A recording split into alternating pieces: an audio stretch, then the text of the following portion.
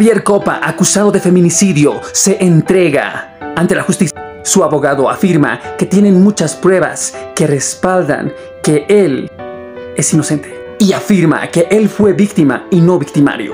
Al respecto, ¿Qué opinas vos? Estoy acá en la Embajada de Bolivia y voy a presentarme por recomendación de mi abogado para que todo se aclarezca y dar mi testimonio real del hecho de todas las cosas en el cual me, se me está implicando a mi persona y a otras personas que no son totalmente inocentes. Él ha presentado una denuncia que inclusive está con una imputación con la ahora lamentablemente fallecida la señorita, donde eh, ha habido un intento de homicidio de parte de ella hacia él.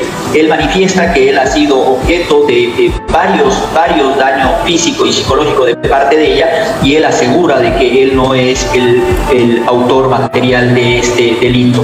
Nosotros tenemos abundantes audios, abundantes videos que por respeto a la familia doliente a la cual nosotros eh, le, le, le, hacemos llegar nuestras condolencias, no los hemos hecho públicos, pero sí los vamos a presentar ante la Fiscalía y será la justicia que determine si el señor Copa es el autor material de este delito. Él ha ido hasta la ciudad de la Argentina sin ningún tipo de ayuda para precautelar su seguridad física y también la de su entorno. Toda persona es inocente hasta que se demuestre lo contrario. Ese es muchísimo material donde vamos a presentar a la Fiscalía, eh, donde se va a poder evidenciar cómo era el trato entre ellos.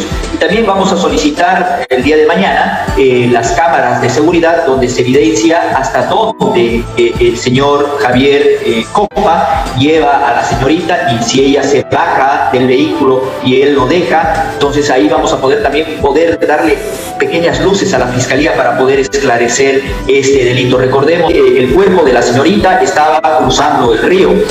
Ese río, si usted se pone a ver, eh, es caudaloso, pasando el kilómetro 13 de La Guardia, y el vehículo en el cual estaba transportándose el señor Javier eh, Copa es un vehículo bajo, o sea, no pasa ese río. Entonces hay muchas incógnitas y muchas incongruencias acerca de cómo ha llegado lamentablemente ese cuerpo a ese lugar, quién la ha llevado o quién ha sido el autor material de este delito. Él constantemente recibía agresiones físicas y verbales de parte de la señorita y él ha comenzado a filmar para demostrarle en un posible hecho de algún conflicto con su hijo para demostrar a las autoridades cuál era el, el modo de vida que tenía con ella.